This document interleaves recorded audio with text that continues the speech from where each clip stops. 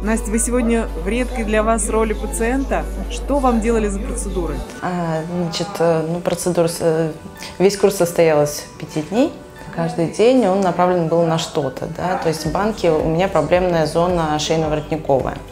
А, и после банок а, такое ощущение было, что вот хочется расправить, расправить крылья, как говорится, свои. Вот, такие вот ощущения, более прямая спина. То есть а, я сутулюсь, когда а, непосредственно хотелось убрать плечи вперед, соответственно, всегда вот где-то позыв был, что наоборот надо выпрямиться. Вот это после первого дня.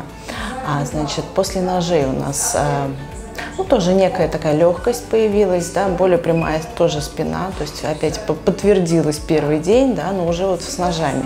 Немножко другая методика а, в плане того, что как бы несколько напоминает на, на то, что ну, на пальце, так скажем, да, то есть как будто вот каждый позвоночник пальчиком, но все же другие ощущения. После лимфодренажа вот два дня у нас было, именно легкость от объемов, так скажем, потому что уменьшается объем, они действительно уменьшаются.